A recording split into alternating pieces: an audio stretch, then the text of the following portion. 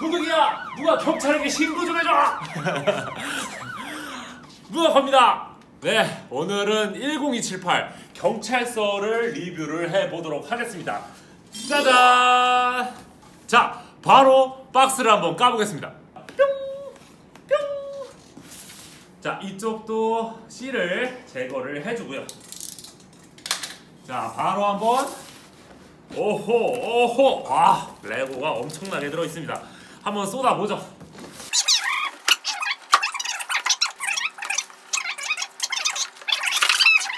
이거 금방 정리를 하겠습니다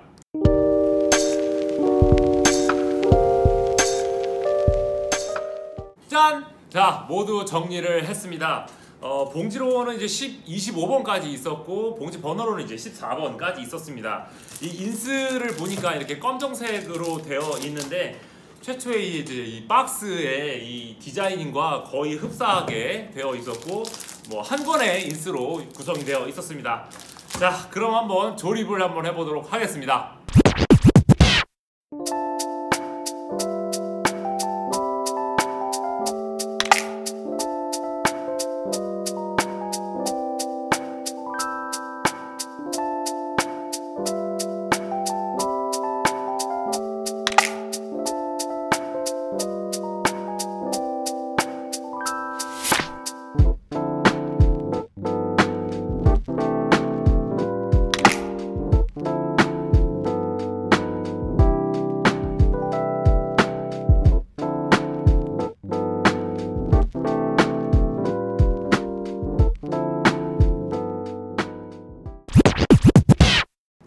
드디어 조립을 완료했습니다. 어, 총 8시간 정도 소요가 됐고 그 8시간이 정말 빠르게 흘러갈 정도로 정말 다양한 디테일이 이 안에 숨어 있더라고요. 제가 이 디테일을 전부 다 설명을 드릴 건데 꼭 이 영상을 끝까지 보시고 이 디테일들을 전부 다 캐치를 하시기 바랍니다. 만약 그렇게 되면 정말 이 경찰서가 더더욱 매력적으로 보이실 거예요. 제가 왜 이렇게까지 얘기를 하느냐? 진짜 제가 조립했던 모듈러 중에서 제일 제일 제일 제일 제일 재밌었습니다. 어떤 디테일이 숨어 있을지 같이 한번 살펴보겠습니다. 자, 인스 앞부분에 이 경찰서를 디자인한 레고 디자이너분 크리스 씨가 있습니다. 제가 이 사진을 왜 보여드리느냐. 제가 이제 앞으로 소설을 좀 쓸 건데 그 소설이 만약에 이분이 전부 다 다 의도한 거라면 진짜 천재입니다.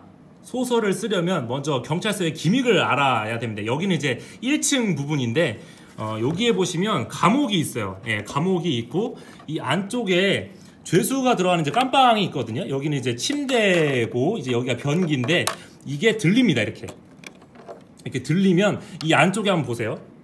보이시나요? 숟가락이 보이시나요? 숟가락?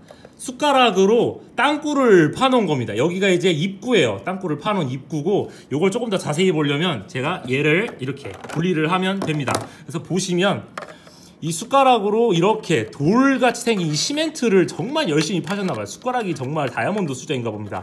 이거를 이렇게 파서 이 바깥쪽으로 나갈 수 있게끔 되는데 얘를 뒤로 돌리면 여기에 이제 이쪽으로 탈출할 수가 있어요. 몸을 좀 상당히 접어야 될 것 같긴 한데 이쪽으로 탈출을 하게끔 기믹이 설정이 되어 있습니다. 2층에 있는 기믹을 설명을 해드릴 건데 바로 이 도넛 가게 위층을 설명을 드리겠습니다. 도넛 가게 위층에 올라오면 그냥 일반 가정집처럼 보이거든요. 이 가정집처럼 보이는데 여기에 침대가 침대가 옆으로 들려요. 자, 이렇게 들립니다. 그럼 이제 여기에 구멍이 나오죠. 이 구멍, 이 구멍이 바로 도넛 가게로 통하는 구멍이에요. 그래서 어, 최초에 이분을 조립을 하시게 되면 여기 이제 도넛이 매달려 있는 이제 이 사슬 같은 생긴 낚싯대라고 해야 되나? 얘를 가지고 여기에서 약간 도넛을 낚는 듯한 모습을 볼 수가 있거든요.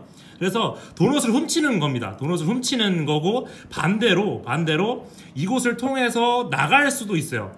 그래서 만약에 아까 여기로 도망친다고 제가 말씀을 드렸잖아요. 도망을 치고 나서 이 계단을 따라서 이렇게 쭉 올라와서 2층에 올라와서 이 문을 통해서 들어가면 이제 아까 그 가정집이 나오는 겁니다. 문이 안 열리는데 새 제품이라서 문이 이렇게 열려서 들어오게 되면 이제 여기서 침대를 걷어 올리고 네 이제 밑으로 도넛 가게를 통해서 1층으로 탈출을 할 수 있게끔도 되는 거죠. 3층을 잠깐 설명을 드릴게요. 여기가 이제 증거 보관실이 있는 곳입니다. 증거 보관실. 그래서 3층을 잠깐 띄어서 보여드리면 이 안쪽에 이 두터운 문 보이시죠? 이 두터운 문을 통해서 들어가면 이제 이 공간으로 들어갈 수가 있는데 안쪽을 자세히 보려면 얘를 이렇게, 이렇게 띄어내면 증거 보관실의 어, 내부를 살펴볼 수가 있습니다. 자세히 보면 여기에 빵이 있는 게 보여요.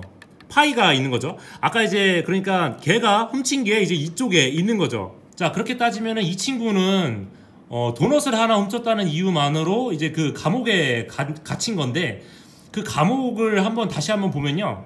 제가 아까 뭐 다이아몬드 숟가락 얘기를 했는데 숟가락으로 이렇게 뭐 콘크리트나 혹은 시멘트 혹은 돌로 보이는 이런 재질을 이만큼이나 팠다?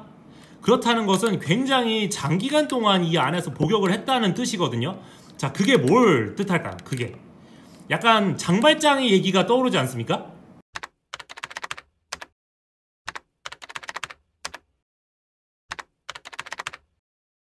자, 기본적으로 그럼 경찰서에는 장발장의 얘기가 이제 더 씌워져 있는데, 자, 그럼 여기서 이제 끝이냐? 당연히 아닙니다. 전 뭔가 이 간판이 뭔가 있을 거라고 생각을 했어요. 왜냐하면 이 건물을 아무리 뜯어봐도 세탁소에 대한 얘기가 없습니다. 근데 엉뚱하게 여기 지금 세탁소 관련된 간판이 걸려 있잖아요. 자, 이게 세탁소가 모듈러에 어디 있을까요? 이 모듈러 제품 뭔지 아시죠? 저에게는 그린고츠 은행이자 어, 크리에이터 모듈러의 브릭뱅크입니다. 자, 이 브릭뱅크의 옆면을 보면요. 자, 여기 보세요. 세탁소가 있죠? 자, 이 세탁소를 조금 더 가까이에서 한번 보여드릴게요. 보세요. 자세히 보세요. 어디서 많이 본 게 붙어 있지 않습니까? 자, 아까 그거 간판을 다시 한번 보여드릴게요. 자, 멘트가 똑같이 써있죠? 다시 한번 보여드릴게요. 자, 여러분. 소름 돋지 않으십니까? 이게 왜 여기 있을까요? 얘가 왜 세탁소가 여기 있을까요?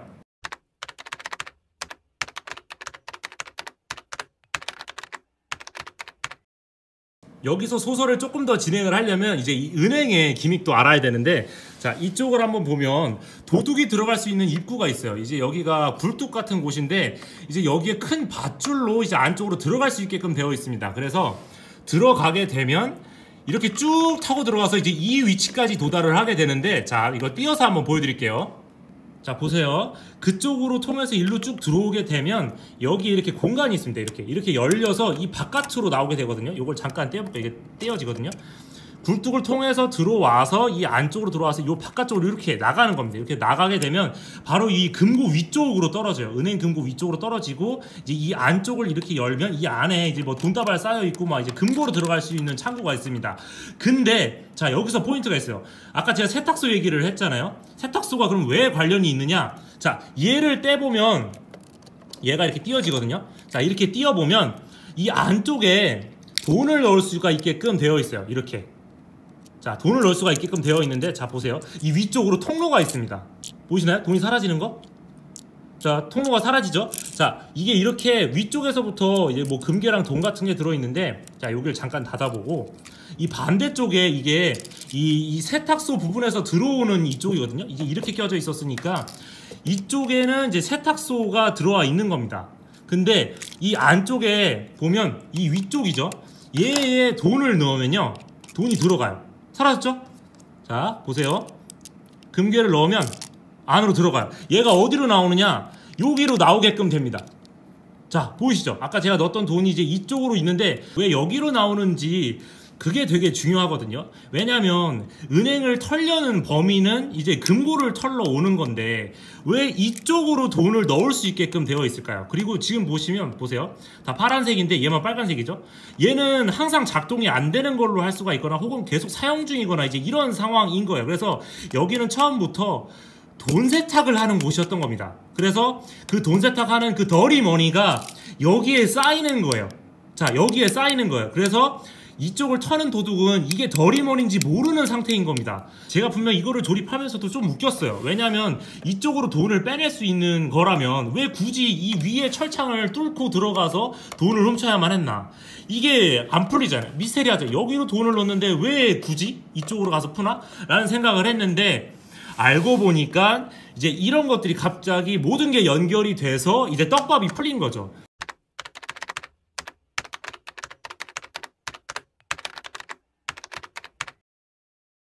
그럼 다시 경찰서로 돌아가서 아까 제가 여기서 장발장 얘기를 했었고 이제 얘가 브릭뱅크에 있는 이제 그 세탁소와 연관이 있든 이제 더리머니가 거기를 쌓인다는 것까지는 이제 연결을 시켰습니다. 자 그러면 이제 마지막 떡밥이 하나가 더 있는데 제가 이거를 왜 장발장 얘기를 했느냐면 자 오늘 깜빡하면 좀 많이 나오는데 자 장발장이 탈출의 명수인 거는 알고 계실 거예요. 그러면 얘가 이제 한 번 탈출한 게 아닐 거라는 생각을 했습니다. 이게 만약 장발장 얘기가 씌워져 있는 거라면요. 그래서 도넛은 초범이었을 거고 그 초범 때문에 어 이제 이 안쪽에서 수감 생활을 하던 중에 아마 이 뭐 데스크라든지 아니면 뭐 여기에서 비리가 있다는 사실을 아마 접했을 겁니다. 그래서 수감 생활 중에 알게 되었고 그 사실이 이제 그 너리머니가 브릭뱅크에 있다는 사실을 알게 돼서 그걸 털러 간 거죠. 그래서 첫 번째 탈출은 뭐 그쪽을 통해서 하지는 않았을 것 같고 뭐 가석방이 됐거나 아마 다른 식의 탈출 방법을 선택을 했을 것 같습니다. 그리고 그게 왜 그러냐면요. 자 보세요. 여기 아까 제가 증거 보관실이라고 말씀을 드렸는데 여기를 띄워 보면 뭐 아까 여기 뭐 빵 같은 것도 있었고 뭐 그랬는데 자 이쪽 뒷면을 한번 보세요. 이 뒷면에 이 빨간 거를 보면 자 어떤 것 문 같은 게 강제로 뭐 닫혀 있거나 뭔가 자물쇠 같은 거를 강제로 뜯어낼 때 쓰는 거거든요. 자, 이게 여기 왜 있을까요, 여러분? 자, 이게 여기 왜 있을까요?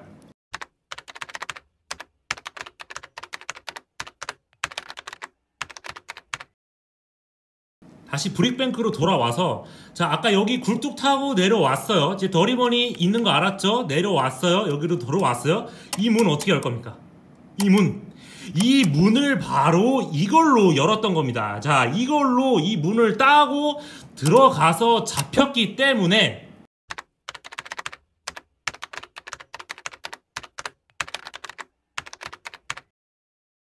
굉장히 오랫동안 복역할 수밖에 없는 상황이 된 겁니다. 처음에 빵을 훔쳤고 두 번째는 경찰의 민감한 부분을 건드렸기 때문에 굉장히 오랫동안 여기서 복역을 할 수밖에 없었던 거죠. 그래서 너무나 억울한 나머지 이제 여기를 숟가락으로 파고 몇 년이 걸려서 숟가락으로 여기를 돌 혹은 시멘트 뭐 콘크리트 이런 걸로 된 거를 뚫고 이 뒤쪽으로 탈출을 한 겁니다. 자, 브릭뱅크가 2016년 얘가 2021년 드디어 이 떡밥이 풀렸습니다. 자, 크리스 씨에게 여러분 박수! 자, 박수! 자, 크리스 씨, 아, 제작자분 정말 respect합니다. 제가 왜 이 얘기를 장발장에다가 씌웠을지 탈출의 명수 그리고 되게 장기간이나 복역을 했던 사람 그 인물을 투과를 시켰고 그게 이 2016년에 출시됐던 이 브릭뱅크의 세탁소 떡밥이 연결이 되는 이 단서를 흘리면서 모든 것들이 한꺼번에 풀렸습니다. 제가 왜 경찰서가 최고라고 했는지 이제 여러분들 아시겠죠? 솔직히 이거 말고 다른 디테일들이 굉장히 많습니다. 그거는 제가 다음번에 영상을 한번 더 만들어 드릴게요. 지금 이거를 얘기를 하느라 너무 지금 오랫동안 영상을 찍어서 정확한 뭐 그 외 소소한 디테일들은 제가 나중에 다루고 솔직히 이것만 알아도 경찰서 다 안 거나 마찬가지입니다. 자, 이 떡밥을 꼭꼭꼭 말씀해 드리고 싶었습니다.